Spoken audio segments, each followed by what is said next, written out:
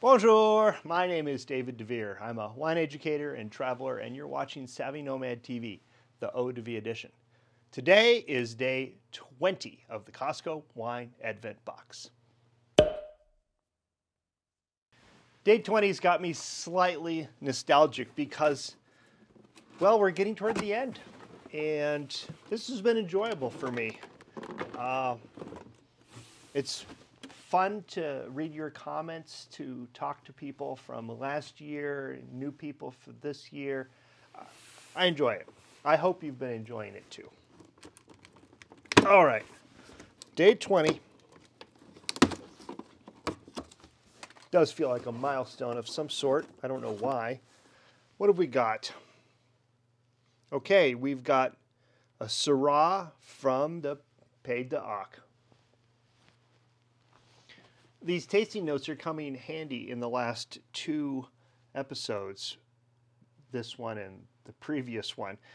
Now, we've had a wine from the Pays d'Oc, which is the Languedoc. That was on the 14th, the Perfect Match Merlot.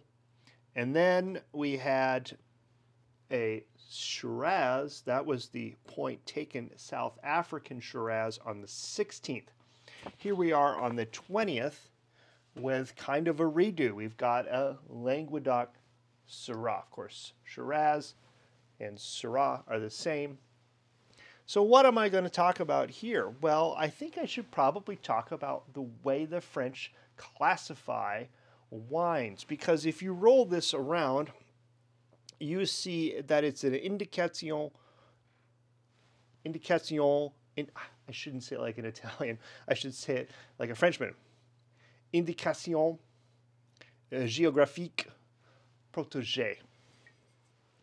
Indication geographic protege. It's the lowest form of appellation. Now, the French have created entire appellation system, and there's most of the country follows this appellation system, and it generally works like this. If a wine is from an appellation, then it gets to be named after the appellation. But if it's not from there, or it doesn't follow the historic style of that place, it can't carry the name. So then they just put, they use international uh, marketing and they put the type of grape on there. So you can find, um, like there's a pretty decent uh, wine brand, uh, the Old Farm, Le Vieille Ferme, uh, that is got uh, animals on it. It's from France and it says Syrah, it says Pinot Noir, all kinds of things. I'll, I'll put a picture here. That brand is not from any specific historic area in France. It carries no specific labeling. So that's how the whole country generally does it. Great example of this is Champagne. If it says Champagne on it, it's from Champagne. Okay, now it gets a little bit more complicated in two of the most important regions Burgundy and Bordeaux. Burgundy is in the center east of the country, Bordeaux is on the coast on the west. And there are two different ways of naming theirs. So in Burgundy, you have Grand Cru, you have Premier Cru, then you have Village, and then you have Superior. Grand Cru are the best fields that produce the most intense expression of that wine, either Pinot Noir or Chardonnay. That's what you get in Burgundy. Pinot Noir, Chardonnay. Grand Cru. Then Premier Cru is the second level. It's one step down. It's almost Grand, but it's not Grand. And the geography in Burgundy is named. The geography is named. So that plot of land is Grand Cru. This plot of land is Premier Cru. Village, which is literally village, is land around the village. That's not Grand Cru, not Premier Cru. It's village wine. And then Superior is the greater area outside of Grand Cru, Premier Cru, and Village. And they would all be named after the regions that they would be grown in. So that's how they do it in Burgundy. But in Bordeaux, they classify the producer, not the land. It's the producer who does it. So you have you could have a Grand Cru in Bordeaux, but you have to be classified as a Grand Cru producer. Premier Cru uh, doesn't really exist in Bordeaux. And then you've got Bordeaux, Bordeaux Superior, etc., etc. So if you are a company, a producer like Chateau Latour or uh, uh, oh, I'm blanking out. There's uh, Cheval Blanc. Uh, then that producer buys the field next to them from Jimmy over here. Jimmy sells the field, and Jimmy's wine has never been made well. It's just garbage.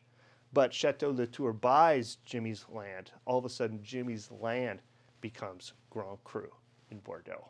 So in Burgundy, they classify the land, not the producer. And in Bordeaux, they classify the producer, not the land. Little hidden secret there.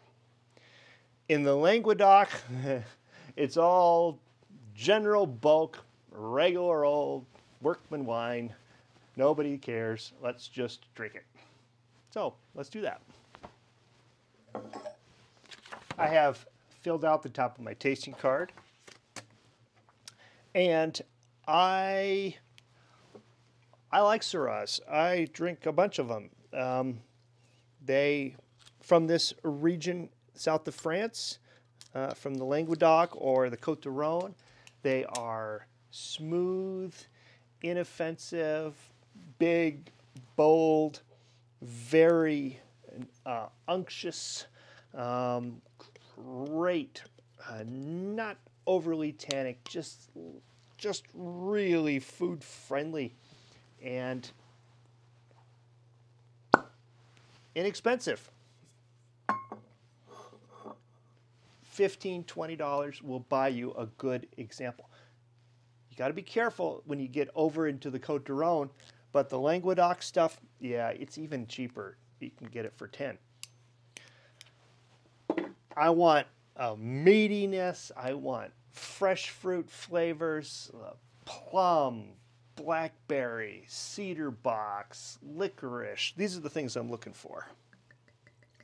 Saturated big saturated flavors. Okay.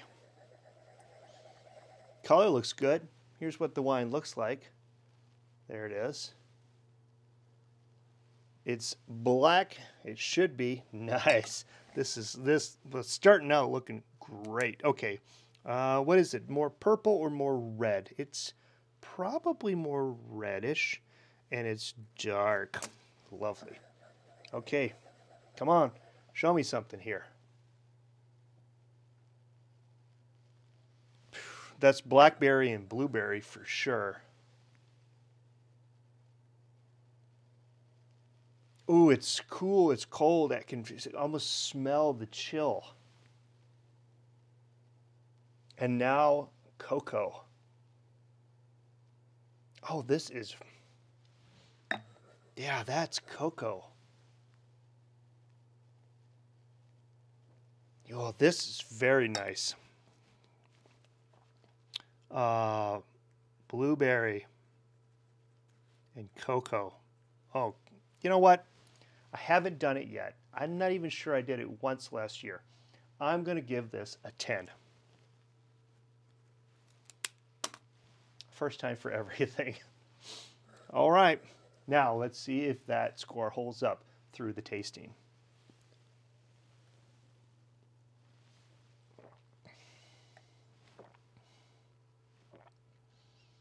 Mm. Okay, dry or sweet? It's dry. It's a medium full body. The acidity is smooth. You hardly even notice the tartness, but there it is. There's my mouth starting to water. Don't get confused either by the tannins here. Those are going to be that first initial feel. Don't let those fool you the acidity is there. It's nicely done. I'll give it an 8. Balance. It's good. The tannins feel a little bit bigger and rougher, but my gums, my gums, my, my lips are not sticking to my gums. That's kind of the indicator of a real aggressive tannins. But the tannins here are on the front of the tongue, and the tongue can kind of feel that, that grippiness. The alcohol level here, which listed is 13%, could be 1.5% off. It could be as high as 14 and a half. No, absolutely no burn. That's very good. The acidity is nice. There's no uh, overdoing it in the sugars, and the tannins are nice. Nice balance. I'll give it a 9. What would be a 10? I don't know. It's just something a little bit finer with the tannins, probably. Now, complexity.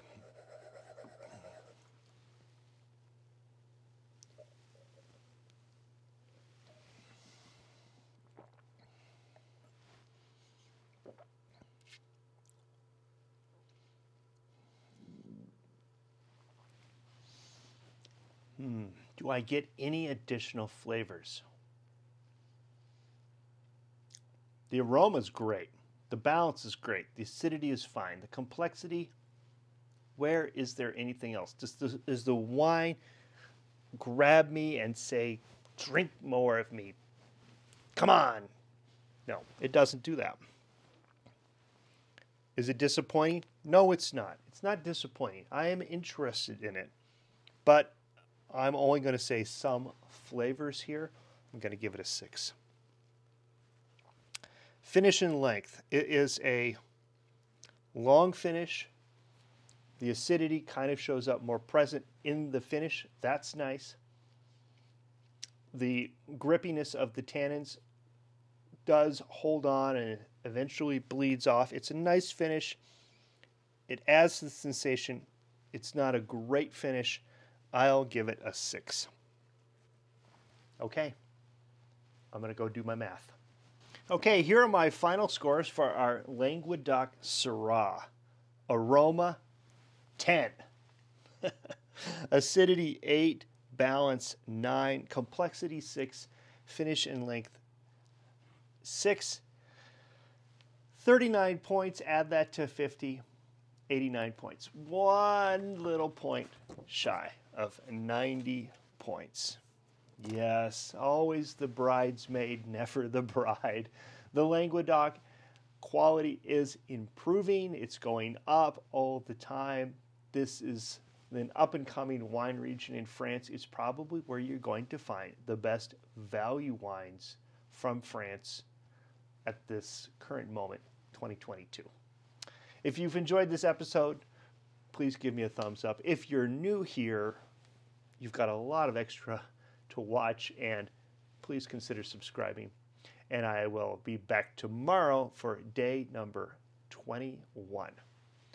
Until then, I say a tutelaire and cheers.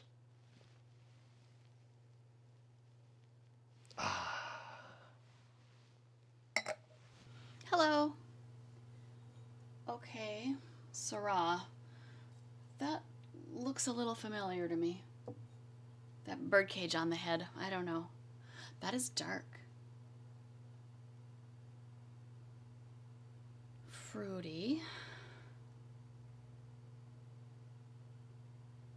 Kind of like um, deep, damp yumminess, not like deep, damp basement smell. Okay.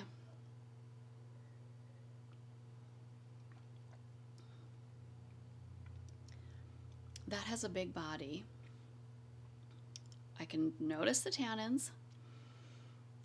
It makes me want to take another sip. I would say it's not quite as easy of a drinker as that rosé was from yesterday, which apparently was simple, but whatever. This is interesting. It's good. Cheers.